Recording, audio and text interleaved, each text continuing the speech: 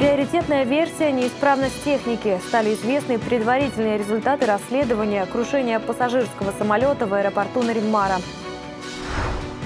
Работы на глубине. В столице региона приступили к промывке скважин на центральном водозаборе. Как это повлияет на качество питьевой воды?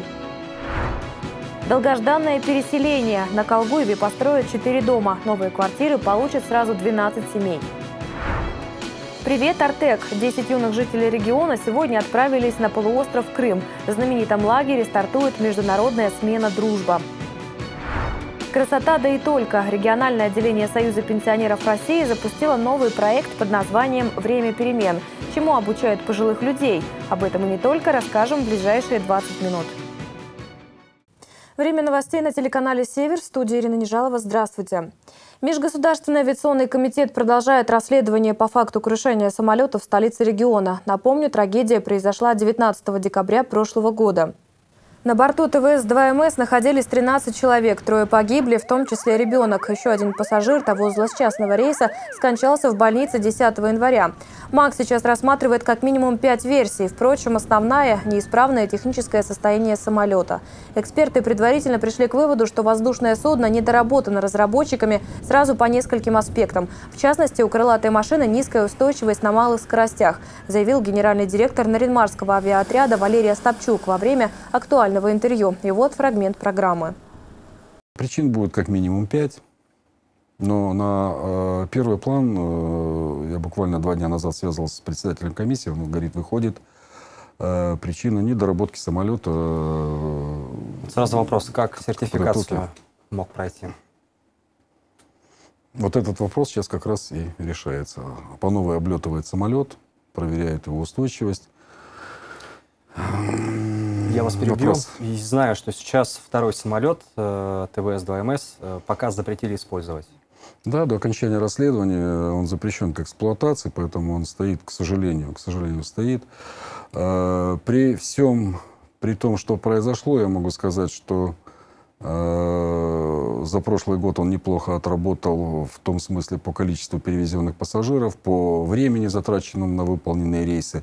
Экономика неплохо, мы до 30 миллионов только на пассажирских перевозках сэкономили. Но никто не ожидал такого эффекта, а самолет должен, должен быть подготовлен. Поэтому дождемся результатов комиссии. То, что это не вина летного состава, это уже понятно. И она, если и будет, то третья, четвертая и в какой-то степени.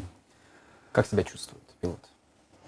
Денис Гончаров уже ходит своими ногами. Это молодой. Да, да, да. А Сережу Кузьмина, слава богу, отправили в апреле в Склифосовское. Ему восстановили позвоночник, скрепками а, собрали. Он уже встал на ноги, слава богу. Полгода он, конечно, пролежал. И, атрофия мышц, но сейчас в реабилитационном центре им занимаются. Будет ходить, все будет хорошо. Ну, скажите, шансы есть, что они вернутся за штурвал? Маловероятно. Навряд ли. Там, там травмы очень серьезные головного мозга, которые ну, попытаться обязательно надо будет.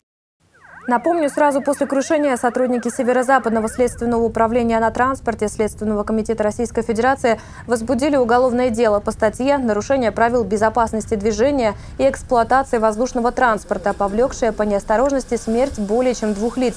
Тогда отрабатывались три возможных версии случившегося. Неблагоприятные погодные условия, ошибка пилотирования, либо же технические неисправности самолета. Сотрудники ПОКТС приступили к масштабной прочистке скважин на центральном водозаборе Наринмара. Используется метод так называемого эйрлифта. Скопившуюся грязь на фильтрах вымывает при помощи сжатого воздуха. Технология пусть и не новая, зато эффективная, говорят специалисты. Всего за летний сезон рабочим предстоит прочистить более 10 скважин с питьевой водой. За процессом наблюдала наша съемочная группа. На первый взгляд может показаться, что за работой машинисты буровых установок оценивают запасы нового месторождения. Впрочем, люди в синих комбинезонах отнюдь не нефтяники, сотрудники предприятия, объединенных котельных и тепловых сетей. Слесари выполняют важную миссию, прочищают скважины с питьевой водой, которая отсюда поступает во все дома и социальные объекты Наринмара. Процесс очистки крайне долгий. Используется метод эйрлифта. Установку из труб рабочие собирают на месте. Постепенно, метр за метром, конструкцию затем опускают под землю. Глубина скважины порядка 30 метров. На то, чтобы прочистить одну только скважину, уходит ровно неделя, а грязь вымывает при помощи сильного напора воздуха. Он проходит вот по этим трубам. Установку так и называют – Airlift. Итак, 13 скважин. Это значит, что на прочистку всех фильтров уйдет 13 недель. Сотрудники коммунального предприятия признаются, грязи умывается, как правило, немного, в основном песок, но и он может значительно повлиять на качество питьевой воды. Приезжает сначала бригада электриков, проводится э, работа с ЗЕВСом, то есть подается ток импульсивный, то есть эта вся грязь отбивается, седает. И вот потом уже приезжаем, устанавливаем эрлифт, чтобы всю эту грязь оттуда ну, вымывалась. Скважины на центральном водозаборе Нринмара прочищают ежегодно, то есть процедура стандартная. Руководство по КТС уже заявило, на объемах поставляемой в город воды промывка фильтров никак не отразится. Олег Хатанзейский, Леонид Шишелов, телеканал «Север». Несанкционированный причал возник на берегу поселка Качгард. Порядка трех недель назад две внушительного размера баржи притащили как раз под окна жилых домов. Чтобы избавиться от нежелательного соседства, собственники частных строений обратились к общественникам, которым предстояло выяснить, кому же принадлежат старые посудины и почему их решили утилизировать прямо в жилом районе. Нина Бондарева живет здесь уже 72 года. Женщина признается, прибрежную территорию жители каждую весну убирают самостоятельно. Паводкам приносит много мусора, и как только вода уходит, собственники устраивают общий субботник. Но когда жители увидели, что появилось на берегу в этот раз, испытали настоящий шок. Своими силами этот мусор точно не уберешь. Побросали все это, никому ничего не надо. Прошлый год у нас, правда, с горем само убрали тут много, много кое-чего вроде бы все, мы так это успокоились. А сейчас вот снова при, привели две боржи. И поставили это их прямо возле домов. Вот это тоже не дело. У нас есть каждый год вот такая история. Э, водой приносит очень много грязи. И вот надо обязательно берег привести в порядок. Вот. Это кроме того, что вот эти баржи стоят. А эти баржи, мы почему-то были уверены, что их сюда привели временно, чтобы э, куда-то тянуть подальше. А они все стоят и стоят. Местные называют это откровенным безобразием. Владимир Попов тоже не очень-то доволен нынешним видом из окна. Если обычно это живописная качгартинская курья, то теперь жителям приходится довольствоваться видом на груду металлолома. Вот если это будут боржу пилить его, да, вот недалеко а, как, а, от жилых домов, то гарь, вот эту, а, работа, от работы техники будет выходные газы, и их Э, значит, э, понесет, если при западном ветре, их э, понесет в дома. Все вот это. Ну, это будет как, ну, сказать, газовая камера. Как вот люди будут жить вот, ну, в таких условиях.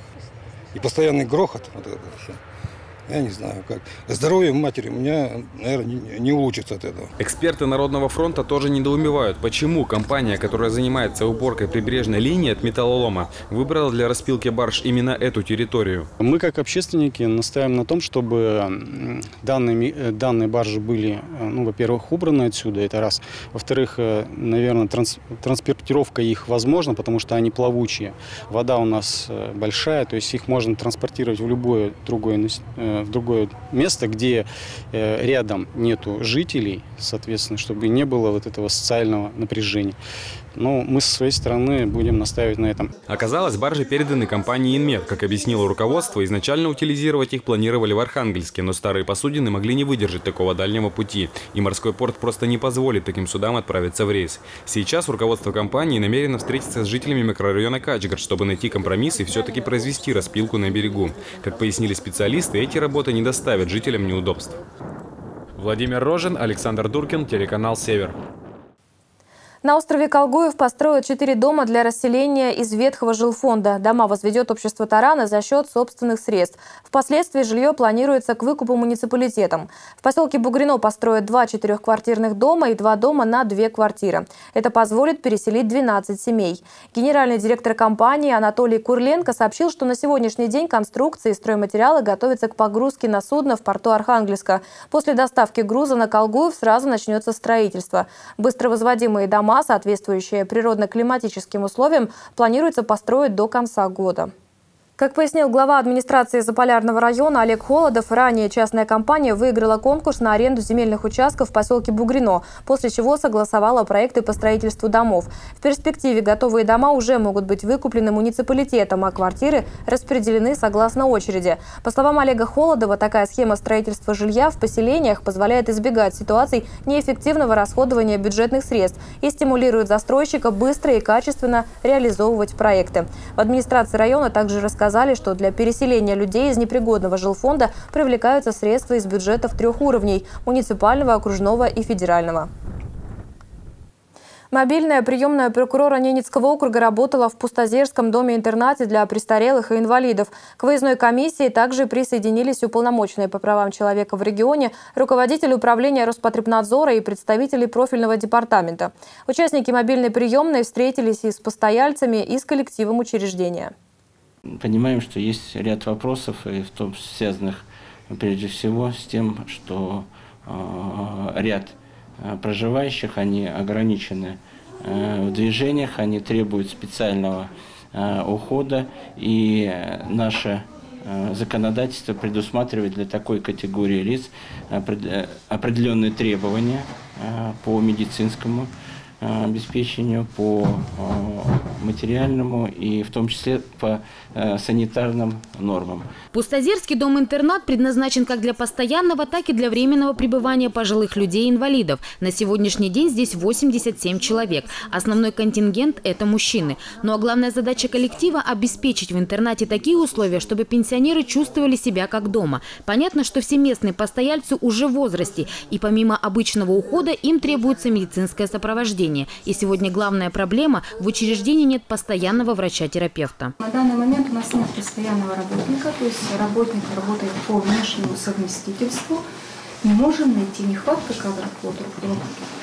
А действующий медицинский персонал, он достаточен для того, чтобы надлежащим образом оказывать услуги? Ну, мы на 2019 год попросили там еще одну ставку, то есть чтобы организовать два медицинских. На данный момент в интернате не хватает и санитарок. В определенные дни недели для ухода за жильцами требуется разное количество обслуживающего персонала. Если это банный день, постояльцев вводят в общественное учреждение, то для их сопровождения и помощи требуется гораздо больше рук, чем в обычные дни. Работников прокуратуры также интересует обеспечение интерната медикаментами. Здесь лекарствами очень строго. Препараты назначаются только врачом, который выписывает рецепты. 78 инвалидов. Да? Да. То есть если они стоят на учете узких специалистов, то им выписываются лекарственные препараты бесплатно. То есть если они в аптеках есть бесплатно, то мы их приобретаем. А если нет?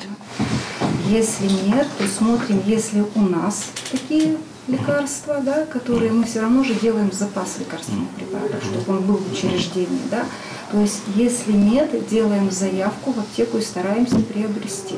Среди постояльцев интерната есть и те, кто самостоятельно передвигаться не может. Они проживают на первом этаже, чтобы в случае эвакуации их без труда вынесли на улицу. Что касается средств реабилитации, этот вопрос задала уполномоченный по правам человека в Ненецком округе Лариса Свиридова. То все жильцы в полной мере ими обеспечены. Каждый год у нас делаем отчет, то есть если кто-то новенький приходит, да, из старых, то есть у нас ведут, ведутся карточки, в которых регистрируется э, нуждаемость, обеспеченность, на какой срок, когда подаем заявки в фонд социального страхования. С этого года в штате учреждения появился психолог, а также два инструктора по трудовой деятельности. Не все, конечно, привлекаются к работе, но если у клиентов нет противопоказаний, то они могут помогать сотрудникам столовой. Недавно постояльцы участвовали в озеленении клумб во дворе интерната. Всевозможные кружки. Вы вот видите, да, все вот эти грамоты благодарности получены за поделки, сделанные вот проживающими своими руками. Мы участвуем во всевозможных окружных, городских конкурсах. После общей беседы комиссия провела осмотр. Комнаты отдыха, карантинное отделение, а также спальные места. Посетили и столовую, где речь зашла о качестве еды.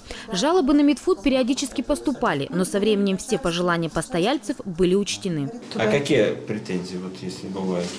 Ну, вкусно, невкусно, это э, такое. Ну, недосолено или там как бы... Вот взять нашим, вот, которые протертую пищу.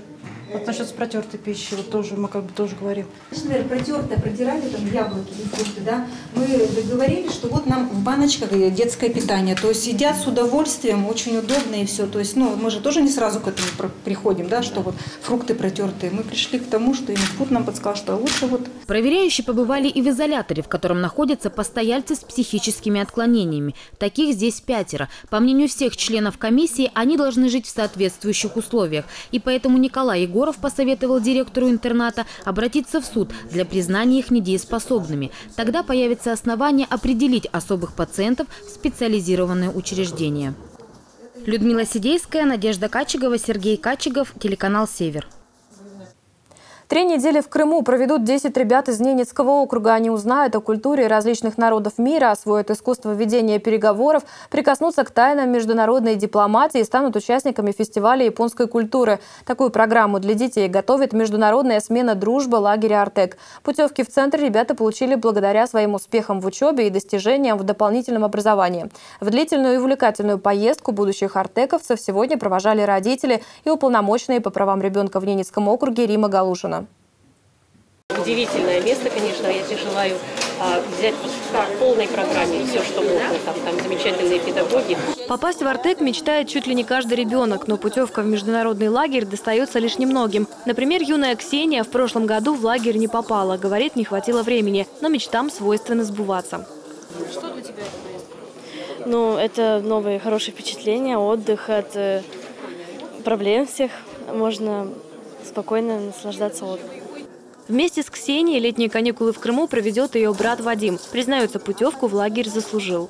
У меня много грамм от мамы, там сфотографировала, отправила и получила путевки в Артек.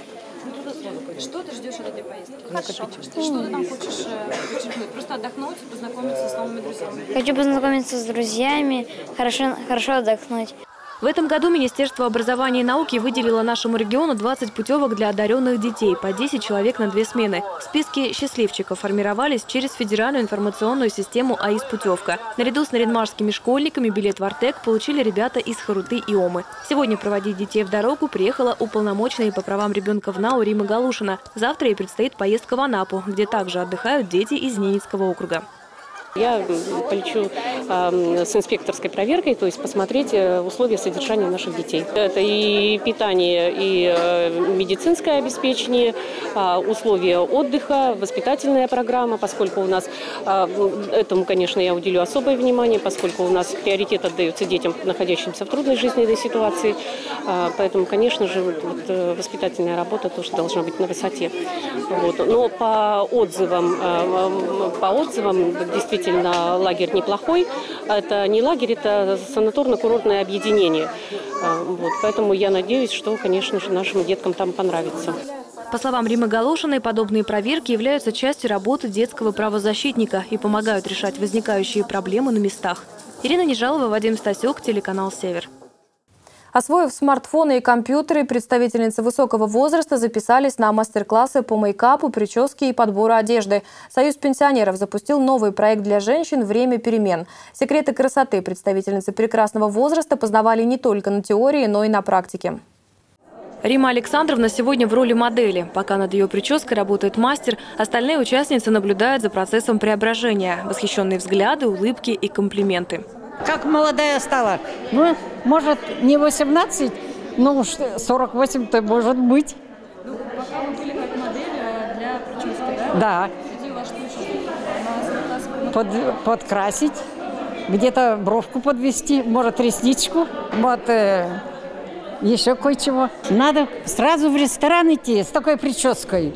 За соседним столом секретами мейкапа с представительницами высокого возраста делится известный в регионе хармейстер Татьяна Сидейская. Рассказывает, как правильно ухаживать за нежной кожей лица и с чего начать макияж. Завершающим штрихом станут советы мастера по подбору одежды.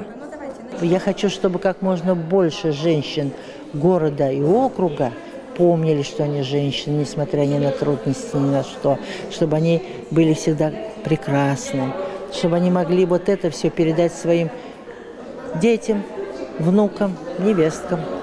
Как нам рассказала Рима Костина, сегодняшние мастер-классы – только начало большого проекта «Время перемен». Набор новых групп на бесплатные мастер-классы начнется осенью. Всю информацию можно получить по телефону 2 16 83. Ирина Нежалова, Антон Вудряков, телеканал «Север». Вы смотрели новости на телеканале «Север». Хороших вам выходных и до встречи в эфире. Далее смотрите прогноз погоды.